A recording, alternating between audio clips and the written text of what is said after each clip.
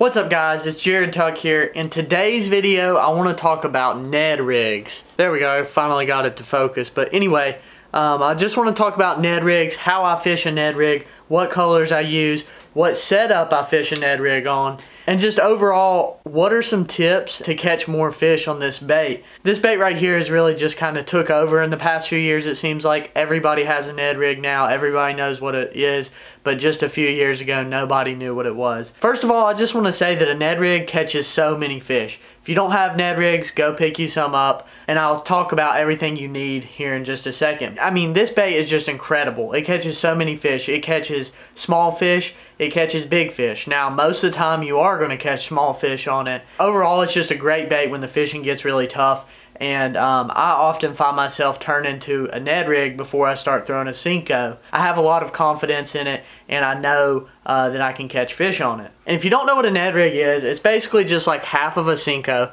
You can actually use a Senko to make a Ned rig and put it on jig head, but I prefer fishing the actual Ned rig. Hold up guys, the train's coming by. This is uh, perks of having a dorm room right next to a railroad track. Finally, the train goes by. Anyway, guys, what I was trying to say is that I like fishing the Z-Man TRD, um, Finesse TRD, whatever you want to call it. And just the regular Ned rig is what I fish. Here's a package of them right here. Just the regular Finesse TRD. As you can tell, I've loaded down this pack. I think I've put like five or six different um, packs of Ned rigs and combined them into one just to kind of simplify things. And I love green pumpkin. Uh, I don't really fish this bait in many other colors. The other color I use would be the PB&J. I've had a lot of success on the PB&J and I've had a lot of success on the green pumpkin. Besides those two colors, I don't really use uh, any of the other colors. Um, I guess you could use the black and blue, but I'm not really going to be fishing this bait in muddy or stained water just because it's such a small bait. It doesn't give off much vibration or anything like that. And um, even with the black and blue, it's going to be hard for those fish to see a little Ned rig in stained water. So typically, I'm only going to fish this bait whenever it's clear water or um, you at least have some visibility so the fish can see the bait.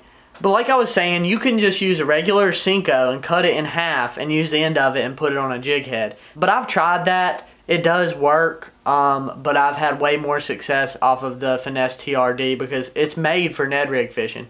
This bait right here stretches so much. You can catch, I think I caught 40 fish in one video on the same exact Ned rig. And that's crazy. I'll link that video down in the description below if you want to go check that out. But I caught 40 fish on the same exact piece of plastic. And that's just, that shows how durable these baits are. They are really durable, but again, you have to keep them in their original packaging. Kind of got to keep them separate from other plastics if you want to put them in a box or anything because they'll mess up. The best thing you can do is just keep them in their original packaging and they'll stay straight and you'll be able to fish those baits longer. So, with all that being said, I like to keep it simple, green pumpkin or PB&J. The PB&J color, don't overlook it just because it's PB&J. It works. It gets bit. It catches fish. I think that was the color I caught those fish on in that video, but PB&J, it just, it catches fish. So buy you some PB&J, buy you some green pumpkin, and you will catch fish on a Ned rig.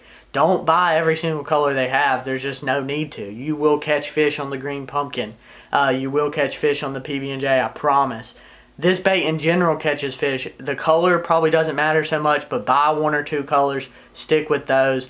Um, you don't need every single color they make in order to catch fish on a Ned rig. So the next thing I want to talk about is the jig head. I like the 1 10th ounce jig head. I like the one that's made by Z-Man. There are other companies out there that make Ned rig heads. The hooks on the Z-Man ones aren't the best. I know that. Um, they're not the best quality jig heads but they do they are mushroom style jig heads and they work well for me. Um, again like I said their durability isn't the best but it's good enough for me. So there's three different jig heads that I use three different ones all made by Z-Man and they're all specifically made for the Finesse TRD I don't really use the big TRD I would much rather just fish a Senko um, you can fish the big TRD. I think the Senko's better. If I'm to fish a Ned rig, I'm to fish the small little Ned rig. You can also switch it up. Other companies make plastics now to put on the Ned rig. Uh, like RoboWorm has a Ned rig worm and that works good too. I've tried their like morning dawn color, green pumpkin, all that. And those work fine, but the Z-Man ones are a lot more durable and you can catch more fish on them. And from what I've found, the fish don't care all that much about um, what plastic is on there because it's so small anyway uh, that those fish are going to bite it. So about the jig head types, there's three different types. There is the regular exposed jig head. I'll use this jig head in lakes uh, where there's not a lot of cover on the bottom.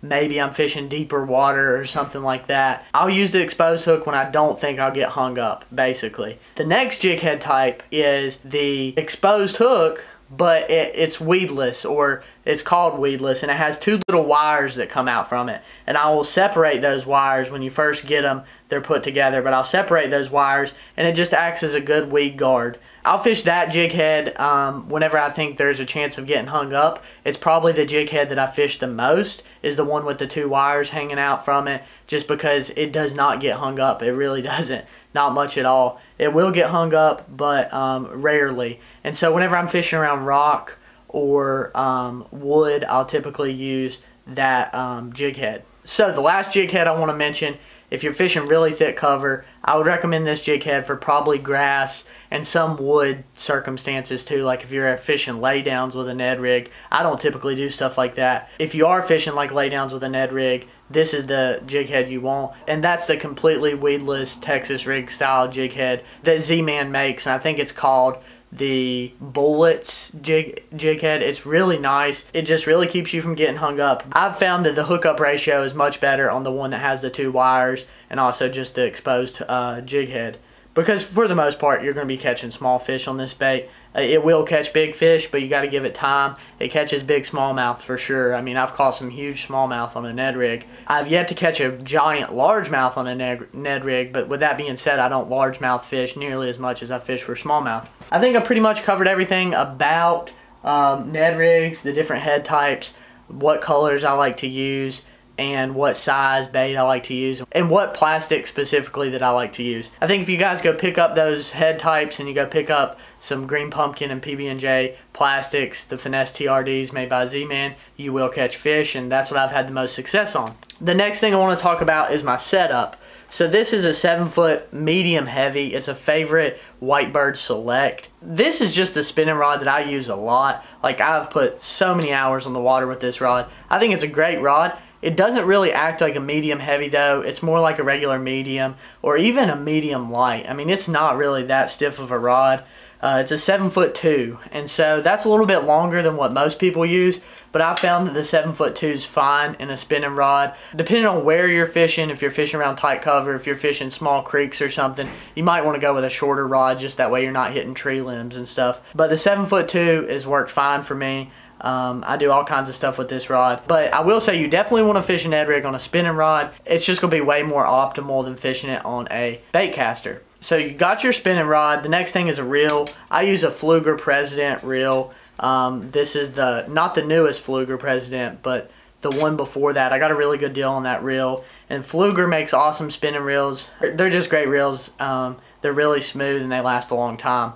So what's really important about a Ned rig, I think, is braid to a fluorocarbon leader. And right now I have 20 pound braid on, um, just the moss green braid. That's typically what I use. And then an 8 pound fluorocarbon leader. And what I'll do is I'll tie my leader to basically where it won't go into the reel. So probably like a 5 or 6 foot leader. But I don't want that connection knot to go into my reel. So I basically just measure it off to where if this bait is at my rod tip, that connection knot is still not in my reel. So again, like a five foot leader pretty much.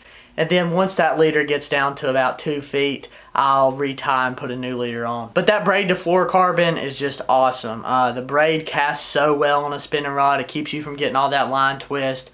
It helps you feel the bait in the water better. Um, you're going to feel the bottom better. It's just, you're going to feel bites better. It's just great. Braid has good sensitivity. And then that fluorocarbon leader is going to keep the fish from seeing your line and it's also going to give a little bit of stretch um, so those fish can get that bait in their mouth a little bit better than if you were running straight braid to it. but you can run straight braid to it and you'll still catch fish, but I feel better and more comfortable using the fluorocarbon leader. So that's just a little bit about Ned rig fishing. I hope you learned something from this video. If you did enjoy this video, then please leave a thumbs up on this video. I would greatly appreciate it. Again, thanks for watching, and as always, go take someone fishing.